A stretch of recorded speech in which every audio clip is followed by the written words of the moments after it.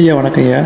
இப்போ வந்து கர்மாவில் வந்து நம்ம எண்ணம் சொல் செயல் அப்படிங்கிற ஒரு கான்செப்ட் இருக்குங்க அந்த எண்ணம் வந்து எண்ணத்தினால முடியும். எண்ண அந்த அதோட விளைவு வந்து ஒரு எண்ணத்துக்கு எண்ணம் பதிலாக எண்ணம் வந்து விளைவா? சொல்லுக்கு சொல் விளைவா? செயலுக்கு செயல் விளைவா? இது ஒரு இது ஒரு இதுங்கய்யா இன்னொன்று வந்து இப்போ நான் இப்போ ஆகாயம் ஆகாமிய கர்மம் ஒன்று பண்ணிகிட்ருக்குறோம் வச்சுங்களேன். அது வந்து ஏற்கனவே நான் பண்ண ஈக்குவல் கர்மம் கர்மாவுக்கு பேலன்ஸ் பண்ணுமா? இல்லாட்டா ஆகாமிய கர்மா வந்து ப்ரீவியஸ் வந்து எந்த மாதிரி கர்மா இருந்தாலும் அந்த கர்மாவை இந்த ஆகாமிய கர்மா வந்து அஹ், சரிப்படிக்க சரிப்படுத்துறதுக்கு வாய்ப்பு இருக்குதா? இல்லை இப்போ வந்து கர்மாங்கிறதே வந்து நமக்கு ஒரு பனிஷ்மெண்ட்டாக கொடுக்கப்படலை. பனிஷ்மெண்ட்டாக கொடுக்கப்படலைங்கும் பொழுது எந்த கர்மாவையும் நம்ம கழிக்கணும்னு அவசியம் கூட கிடையாது. சொல்லப்போனால் க ஆகாமிய கர்மாவாலுடைய நோக்கமே மோசமான கர்மாவெல்லாம் கழிக்கிறதுங்கிற அர்த்தம் கூட கிடையாது. அப்படி கழிக்கிறதுக்கு வாய்ப்பு இருக்குது பட் அது நடக்குது. பட் இருந்தாலும் நோக்கம் அது இல்லை. அந்த தேரியுடைய நோக்கம் அது இல்லை. மொத்தத்தில் என்னன்னு சொல்லி சொன்னால் ஏன்னா கர்மாக்கள் வந்து எல்லா கர்மாவும் உங்களுக்கு நல்லதுக்காக தான். நமக்கு ஒரு கஷ்டமே வந்தாலுமே கூட கஷ்டம் ஒரு நன்மைக்காக கொடுக்கப்பட்ட கஷ்டமாக எடுத்துக்கிடணும் அவ்வளோதான் அதனால் உங்களுக்கு சில நேரங்களில் வந்து மகிழ்ச்சியான சூழ்நிலையில் நீங்கள் வந்து உங்களை மறந்து போயிடுவீங்க ஆனால் ஒரு ம ஒரு ஒரு துக்ககரமான ஒரு பிரச்சனையான நேரத்தில் தான் உங்களுக்கு ஒரு உத்வேகமே வரும். செய்யக்கூடிய ஆற்றலே அப்போ தான் ஏற்படும். அதனால் அதுக்கெல்லாம் கூட ஒரு அப்போ அதுக்கு ஒரு மோசமான சூழ்நிலைக்கு என்ன காரணம்னு சொன்னால் மோசமான கர்மா கூட இருக்கலாம். ஆனால் இருந்தாலும் உங்களுக்கு நல்லது தானே கொடுக்குது. அதனால் கர்மாக்களில் வந்து மோசமானது நல்லதுன்னு கூட அதனுடைய விளைவு வச்சு பார்க்கும் பொழுது மோசமான கர்மா நல்ல கர்மான்னு கூட சொல்ல முடியாது. எல்லா க ஏதோ ஒரு வகையில் கர்மா.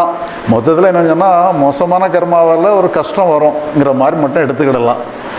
ஆனால் அதுக்கு எண்ணம் சொல் செயலுங்கும்போது எந்த செயலுமே வந்து முதல்ல வந்து எண்ணத்தில் தான் ஆரம்பிக்குது. அதனால் அந்த எண்ணத்தில் ஆரம்பிக்கும் நல்ல எண்ணமாக இருந்தால் நல்ல செயல் தான் நடக்கும்ங்கிற மாதிரி நம்ம அந்த அறிவுபூர்வமாக சிந்திக்கும்போது அப்படியே எடுத்துக்கிட்டால் போகும் நல்லதுங்கய்யா ஆனால் வந்து நான் இந்த அது துன்பம் தருவதா இன்பம் தருவதா அப்படிங்கிற ஆங்கிளில் நான் இந்த கொஸ்டினை உங்கள்கிட்ட ரைஸ் பண்ணலங்கய்யா.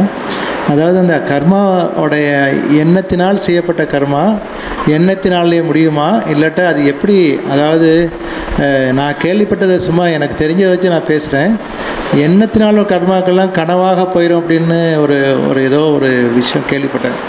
அதாவது அதை கிளாரிஃபை பண்ணிக்கிறேன். அதாவது சொல்லுக்கு சொல் அது நல்ல சொல்லா கெட்ட சொல்லா அப்படிங்கிற விஷயத்திற்கு நான் அந்த ஆங்கிளில் நான் வரல. சொல்லுக்கு சொல்லா செயலுக்கு செயலா வெட்டுக்கு வெட்டு குத்து குத்துன்னு ஒரு பைபிளில் கூட சொல்லுவாங்க இல்லையா? அந்த மாதிரி ஏதோ ஒரு விஷயம் இருக்குதா?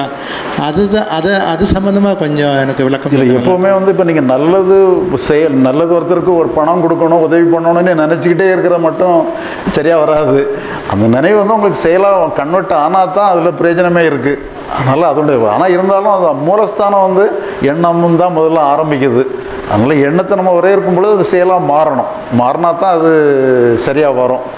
அதனால் அந்த மாதிரி மாறக்கூடிய செயலாக இருக்கிறதுக்காக அந்த எண்ணத்தை நல்ல எண்ணத்தை நம்ம வரவேற்றுக்கிடலாம். இல்லைன்னா வெறும் எண்ணத்தினால பிரயோஜனம் இல்லாது.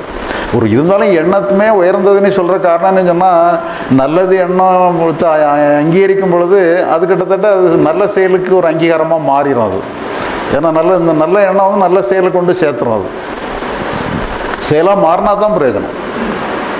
எண்ணமாக இருந்த ஒரு அது எண்ணமாக இருந்து பிரயோஜனம் இல்லைல்ல.